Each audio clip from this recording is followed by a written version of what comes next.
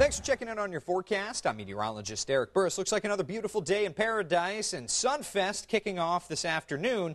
You know what? Mother Nature going to provide a pretty nice setup for us. Let me take you over to the satellite and radar composite. All is looking good across the Sunshine State. Definitely living up to our name. But take a look at what's happening just to our north. Big, nasty thunderstorms once again pushing into uh, parts of Alabama and Tennessee. Tornado warnings, severe thunderstorm warnings, all kinds of nasty weather there. Now, high pressure still in control over our area, and it's actually this moisture that's starting to get going right in here that's going to dive into South Florida and bring us a little bit of uh, slightly milder air over the next couple of days. But today it is a hot one. Winds out of the south at about 10, even 15, 20 miles an hour in spots. So it is a warm synopsis across the Palm Beaches and the Treasure Coast. For today, 90 degrees our high temperature, mix of clouds and sunshine. It's going to be another hot one out there. Tonight, winds out of the south still, which means humidity and warm temperatures. Look at that, 77 degrees our overnight low temperature. A few storms early once the sun sets and then just staying humid overnight.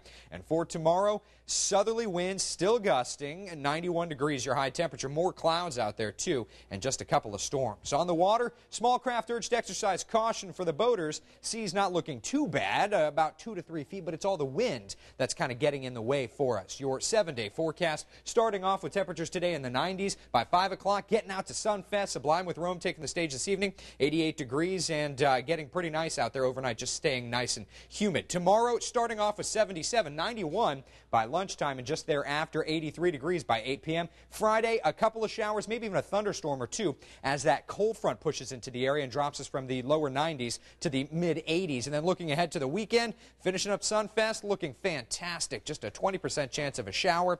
Temperatures in the mid 80s. And then looking ahead to your Monday and your Tuesday, 84 to 85 degrees. Plenty of sunshine. Thanks for checking in on your forecast here at WPBF.com.